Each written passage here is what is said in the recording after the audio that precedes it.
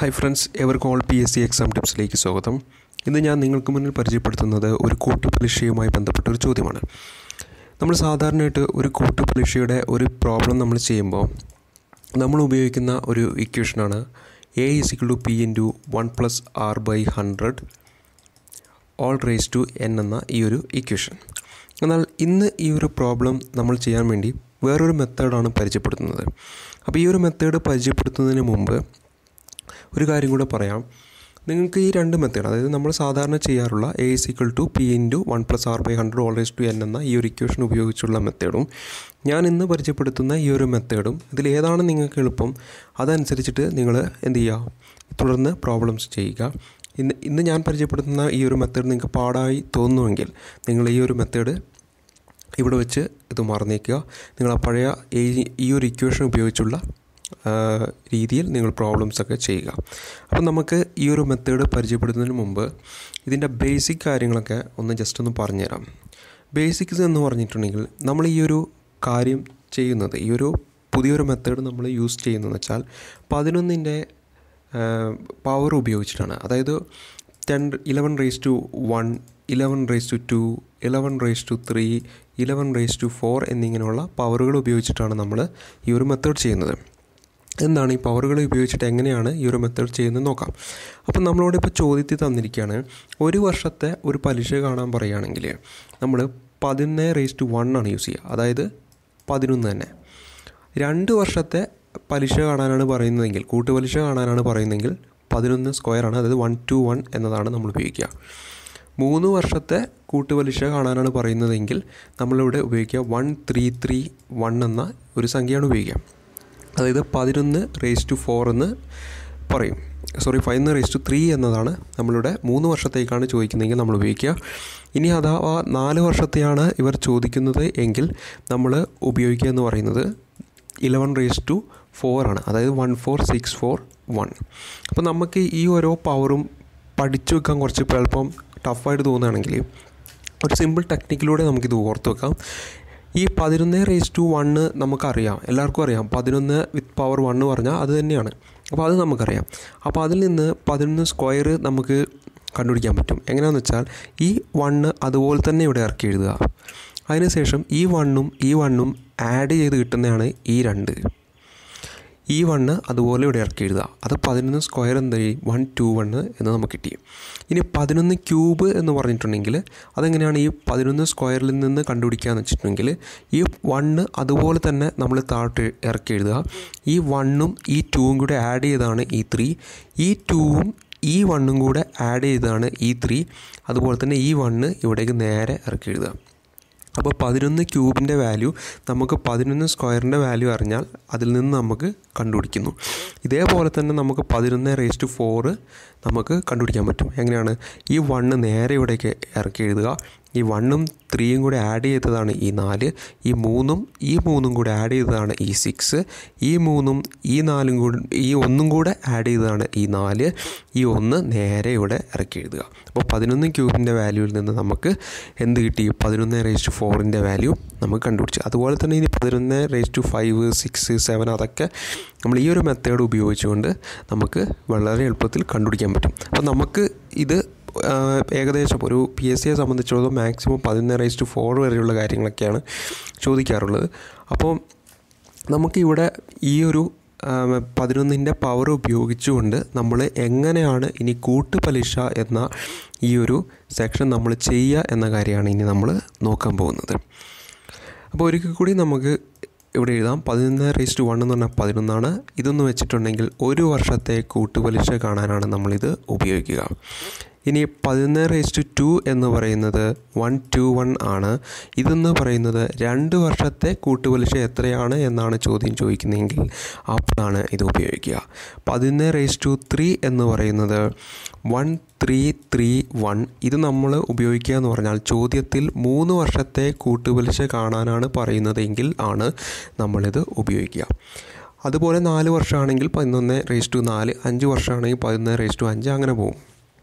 അപ്പോൾ നമ്മൾ ഇവിടെ നമ്മളെ ക്വസ്റ്റ്യനിൽ പറഞ്ഞിരിക്കുന്ന. ഒരു വ്യക്തി എണ്ണായിരം രൂപ പത്ത് ശതമാനം പലിശ നിരക്കിൽ നിക്ഷേപിച്ചിരുന്നു. രണ്ട് വർഷം കഴിയുമ്പോൾ അയാൾക്ക് എത്ര കൂട്ടുപലിശ കിട്ടും? അതായത് ഇവിടെ ചോദിച്ചിരിക്കുന്ന തുക കിട്ടുമെന്നാണ്. അതായത് ഈ കൂട്ടുപലിശയും അദ്ദേഹം നിക്ഷേപിച്ച തുകയും കൂടി എത്ര കൈവശം ഉണ്ടാകും രണ്ട് വർഷം കഴിഞ്ഞിട്ട് എന്നതാണ് നമ്മൾ ചോദ്യം. അപ്പം നമ്മളെ ക്വസ്റ്റ്യനിൽ രണ്ട് വർഷം എന്നാണ് പറഞ്ഞതുകൊണ്ട് തന്നെ നമ്മൾ പതിനൊന്ന് സ്ക്വയർ എന്ന് പറയുന്ന ഇതാണ് നമ്മൾ യൂസ് ചെയ്യുക. അതായത് വൺ ടു വൺ എന്ന ഈ വാല്യൂ ആണ് നമ്മൾ ചോദ്യം ചെയ്യാൻ വേണ്ടിയിട്ട് ഈ മെത്തേഡ് ഉപയോഗിച്ച് ഈ രണ്ട് വർഷങ്ങൾക്ക് ശേഷമുള്ള തുക കണ്ടുപിടിക്കാൻ വേണ്ടിയിട്ട് നമ്മൾ ഉപയോഗിക്കുന്നത്. അപ്പോൾ നമുക്ക് ഈ ഒരു മെത്തേഡ് ഉപയോഗിച്ച് അങ്ങനെ കണ്ടുപിടിക്കാൻ നോക്കാം. അപ്പോൾ രണ്ട് വർഷം എന്നാണ് ക്വസ്റ്റ്യൻ ഉള്ളത്. അതുകൊണ്ട് തന്നെ നമ്മൾ വൺ ടു വൺ എന്ന ഈ ഒരു വാല്യൂ ആണ് നമ്മൾ ഉപയോഗിക്കുന്നത്. അപ്പോൾ ഇനി നമുക്ക് പറയാനുള്ളത് ഈ ഒരു മെത്തേഡ് ഉപയോഗിച്ചിട്ട് ആദ്യം നമ്മൾ ചെയ്യേണ്ടത് ഈ വണ്ണ് എന്ന് പറയുന്ന ഈ വൺ ടു വണ്ണിലെ ആദ്യത്തെ ഈ നമ്പറിന്റെ തൊട്ട് താഴെയായിട്ട് നമ്മൾ തന്നിരിക്കുന്ന ക്വസ്റ്റ്യനിൽ എത്ര തുകയാണോ തന്നിരിക്കുന്നത് ആ തുക നമ്മൾ എഴുതുക. ഇവിടെ ഇപ്പോൾ എണ്ണായിരം എന്നാണ് തന്നിരിക്കുന്നത്. അപ്പോൾ നമ്മൾ എന്ത് ചെയ്യുക? എണ്ണായിരം എന്നെഴുതുക ഇനി നമ്മൾ ക്വസ്റ്റ്യനിൽ തന്നിരിക്കുന്ന പലിശ അതായത് പ്രതിവർഷം ആ ഒരു തുകയ്ക്ക് ഈടാക്കുന്ന കൂട്ടുപലിശ പത്ത് ശതമാനം എന്നാണ് നമുക്ക് തന്നിരിക്കുന്നത്.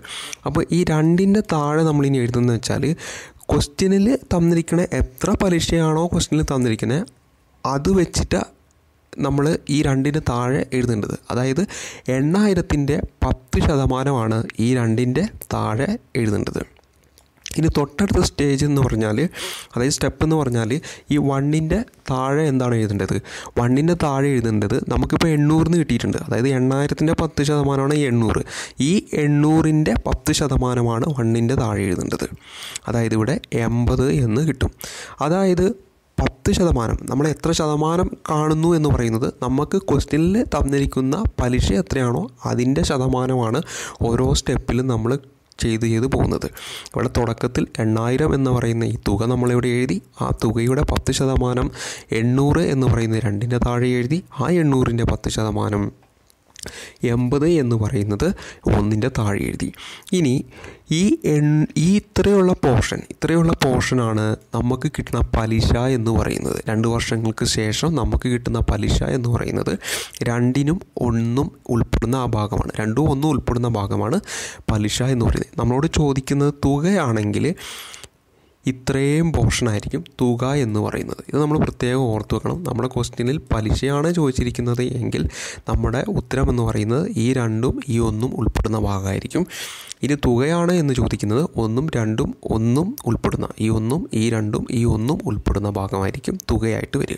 അപ്പോൾ ഈ ഒരു ക്വസ്റ്റ്യനിൽ നിന്ന് നമുക്ക് പലിശ ഒന്ന് ആദ്യം എത്രയാണെന്ന് നോക്കാം. പലിശ കണ്ടുപിടിക്കാനുള്ള മെത്തേഡ് ഇങ്ങനെയാണ് ഈ എൺപതും ഈ ഒന്നും കൂടെ ഗുണിക്കുക. ഈ എൺപതും അതിന് കറസ്പോണ്ടിങ് ആയിട്ടുള്ള ഈ ഒന്നും കൂടെ ഗുണിക്കുക. അപ്പം നമുക്ക് എന്ത് കിട്ടും? എൺപത് ഇന്റു ഒന്ന് പ്ലസ് അതിനുശേഷം ഞാൻ പറഞ്ഞു ഈ രണ്ട് പോർഷനാണ് പലിശ എന്ന പറയുന്ന ഭാഗത്തിൽ ഉൾപ്പെടുന്നത്. അപ്പോൾ ഇനി ഇത് ബാക്കിയാണ്. ഈ രണ്ടിന്റെ ഈ ഭാഗം ബാക്കിയുണ്ട്. അപ്പോൾ ഈ എണ്ണൂറും അതിന് കറസ്പോണ്ടിങ്ങിൽ ഈ രണ്ടും കൂടെ ഗുണിക്കുക. അപ്പോൾ എന്ത് വരും? എണ്ണൂറ് ഇന്റു രണ്ടെന്ന് പറയും. ഇതിന്റെ ആകെ തുകയായിരിക്കും ഈ വ്യക്തി ഈ എണ്ണായിരം രൂപ രണ്ട് വർഷം നിക്ഷേപിക്കുമ്പോൾ അയാൾക്ക് കിട്ടുന്ന കൂട്ടുപലിശ എന്ന് പറയുന്നത്. ഇത് എത്രയാണ് ഇയാൾക്ക് കിട്ടുന്നതെന്ന് വെച്ചാൽ ആയിരത്തി അറുന്നൂറ് പ്ലസ് എൺപത് അതായത് ആയിരത്തി അറുന്നൂറ്റി എൺപത് എന്നതാണ് അദ്ദേഹത്തിന് കിട്ടുന്ന കൂട്ടുപലിശ രണ്ട് വർഷങ്ങൾക്ക് ശേഷം അദ്ദേഹത്തിന് കിട്ടുന്ന കൂട്ടുപലിശ എന്ന് പറയുന്നത് ഈ ആയിരത്തി അറുന്നൂറ്റി എൺപതാണ്. നമ്മളോട് ചോദിച്ചിരിക്കുന്നത് തുകയാണ്. ക്വസ്റ്റിനിൽ നമ്മളോട് ചോദിച്ചിരിക്കുന്ന അയാൾക്ക് ആകെ കിട്ടണ തുകയാണ്.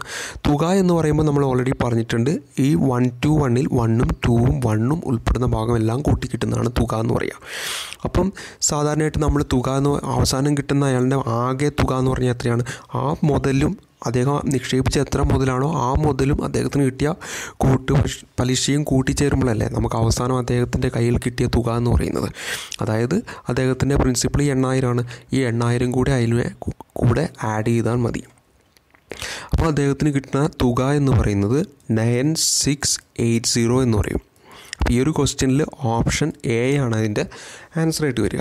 അപ്പോൾ വളരെ സിമ്പിളായിട്ട് ഈ പ്രോബ്ലം നമ്മൾ ചെയ്തു. മറ്റത് നമ്മൾ A is equal to P into one plus R by hundred whole raise to എന്നൊക്കെ ഇട്ട് ചെയ്ത് അത് വെട്ടി ചുരുക്കി വരുമ്പോൾ കുറച്ച് സമയം പോകും ചെയ്ത് നമ്മൾ കുറച്ചും കൂടെ വ്യക്തതയോടുകൂടി പഠിച്ചു കഴിഞ്ഞാൽ വളരെ എളുപ്പത്തിൽ നമുക്ക് ചെയ്യാം. ഇനി നമ്മൾ ഇപ്പോൾ നമ്മൾ രണ്ട് വർഷത്തിന്റെ കാര്യമാണ് നമ്മൾ പറഞ്ഞത്.